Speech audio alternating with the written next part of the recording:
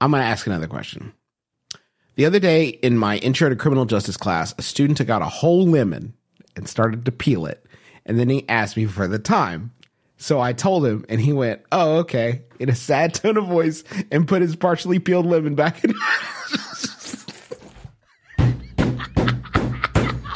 he put his.